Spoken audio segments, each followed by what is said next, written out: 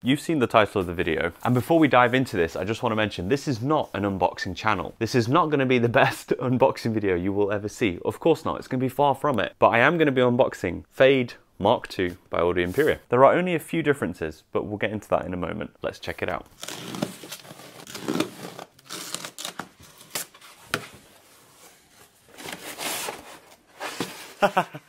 I opened the box from the wrong side.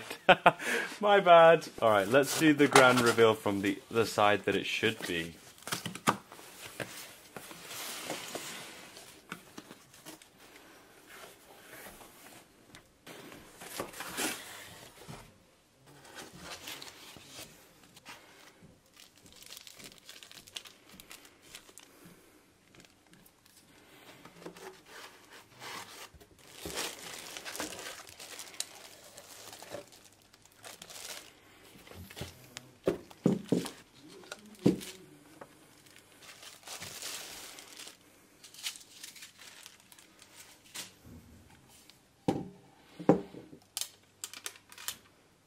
Look at that, brand new.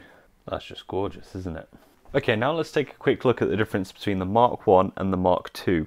The first thing you'll notice is the wood looks slightly different, but it's actually all still walnut and it's from the same batch of wood, but there will be subtle differences. That means that almost every fade unit is going to have its own unique look, because with real wood, you're going to have differences. Another difference between these two is the faders. Both Mark 1 and Mark II use high-end faders. The Mark 1 faders are smooth, but the Mark II faders are just that little bit smoother. Audio Imperia had to change the faders for the Mark 1 due to supply issues at the time in 2021. The faders they originally wanted for Mark 1 were discontinued, and the only way to get them was at a ridiculously high minimum order quantity. So they went to the next best alternative option, which is what ended up in the Mark 1. Now let's have a quick listen to the faders on the Mark 1 compared to the Mark II.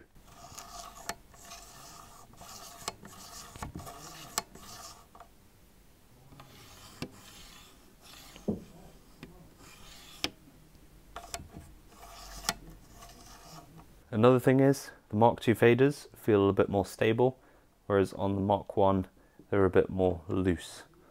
They just feel a little bit more solid in the Mark II. Now there's one more thing I wanted to mention about the Mark II actually. The Mark II has a slightly different faceplate which is now matte black which means you're going to have less thumbprints on it.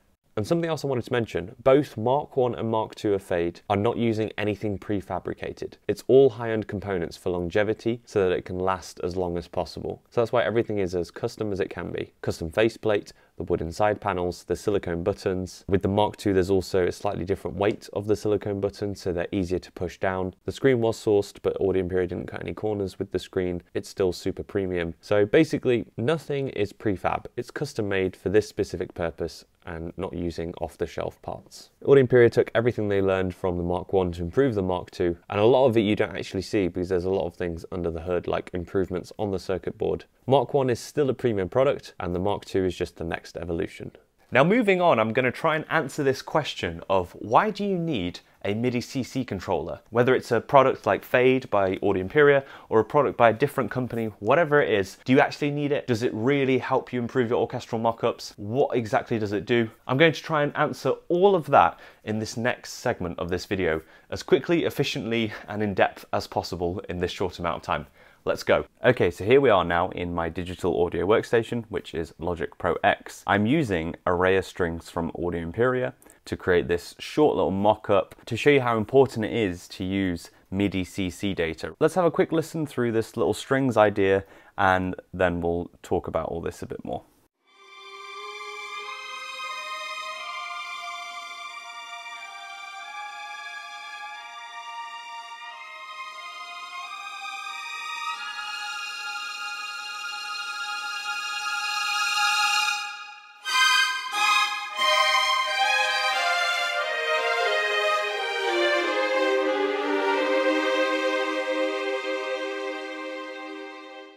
Now, let's have a quick look at what's going on here. So if I just take violins one, for example, and I'll go to this, let's have a look what is actually happening. We're controlling modulation, which is CC1. Modulation is basically the dynamics. So if I place something on the strings here, this is with the fader on CC1 all the way at the bottom. This would be the mod wheel on your keyboard. And as I move it up, you'll hear the change in dynamics.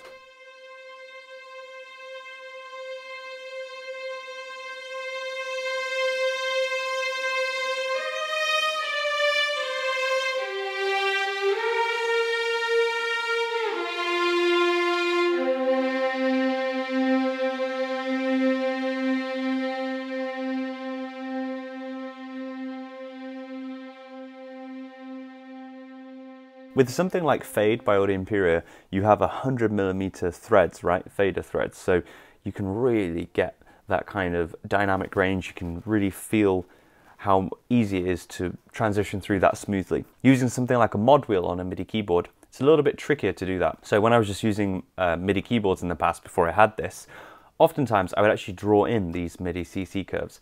As you can see here, this is what's happening here, right? We're just going up a little bit and then down, up, up, rising all the way up, and then we go to this part. This sort of thing you could play in. I just want to be clear about this. Whereas this stuff, right, these kind of MIDI CC curves, unless you're an absolute expert, which I'm not, using these kind of things, you might be able to create that sort of those those curves that quickly. The reality is that even if you're using something like Fade by Audio Imperia with these 100 millimeter threads on the faders, you're still probably going to go and refine it if you're doing really complex programming like this. So let's just take a listen to this on its own.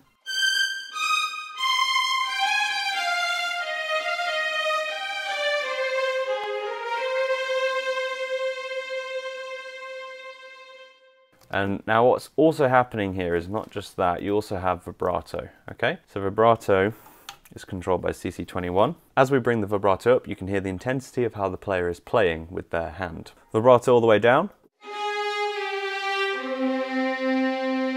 Vibrato all the way up.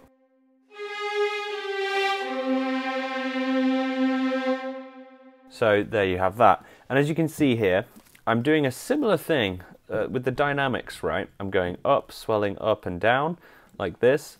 But with the vibrato, we're doing the same thing, but we're actually doing more dramatic curves because I don't want the dynamics to change, like the players to play really intense yet here.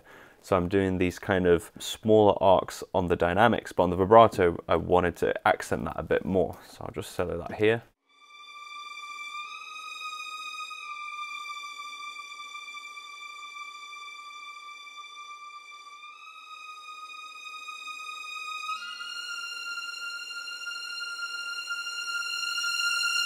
And then notice on this next section, I'm actually keeping the vibrato the same throughout. I'm not adjusting that because it's not really necessary to try and, on this kind of passage, to do all these crazy curves with the vibratos, but the dynamics are doing that, the most of the heavy lifting here.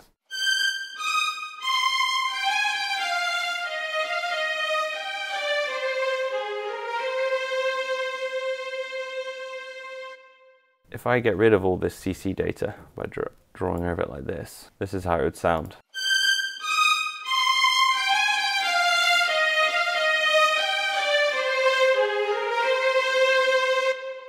It doesn't sound bad, but it sounds a lot better when we have it carved out like this, especially when you go between all three parts like this. And they all have, you know, slightly different curves of what's being played. All of that just adds up to a really nice kind of performance.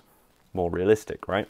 Now, this is the original string sketch. As you can see here, when I programmed this in, I had this idea of this kind of, it's based around this falling pattern that's going down. It's basically just a C minor chord going down in different inversions. So you start here, you go down, and you're changing basically. So it's like C, E flat, G, then it's G, C, E flat, then E flat, G, C, and so on, down, down, changing between violins one, two, and violas. So the blue here represents the violins one just in this section, not this, but just this section here that we're focusing on now. Violins two are the green, and violas are the yellow. That's how I kind of separated out in my mind.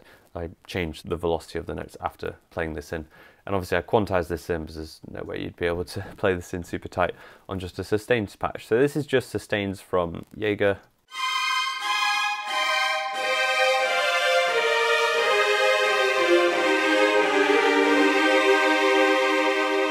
Obviously it's just a sustained patch, so it's not going to sound as good as legatos, but also you can see here that I just have those dynamics just completely straight like this, okay? Nothing's changing, nothing's being accented. And then if we compare that to here, where the dynamics in all the parts are being adjusted, handcrafted,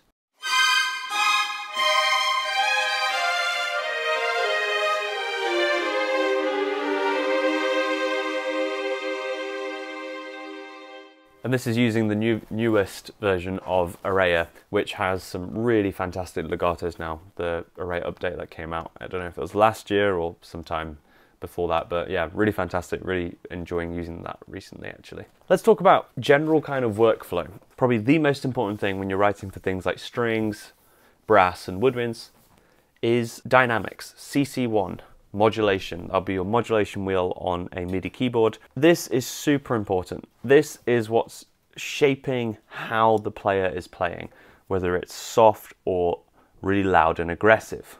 That's kind of how you're shaping the sound with the dynamics, right? Whereas CC11, which is expression, that's basically just volume of the actual patch that you're using from 0 to 100. So generally, I'll keep that all the way up at 127, right? All the way up. And then I will only adjust that if when I'm going down, for example, in this ending part here, in the violas, if I felt that wasn't, or all of these parts actually, if I didn't feel that was enough, I would just go into the expression and adjust it on CC11 and I would keep it, you know, it would be similar to how vibrato is like this, all the way up, and then I would just bring it down at the end or even later, just like this, a slight curve to help exaggerate the kind of dynamic range of what the dynamics are doing. But most of the time, I would say just focus on dynamics, get that sounding good, and then expression, use that to add more dynamics to the dynamics if it's needed. Uh, that's probably going to give you the more realistic approach rather than doing loads of crazy stuff with expression because then you're just adjusting like the actual volume of the instrument like in a recording rather than how the player is playing. That's what the dynamics are doing.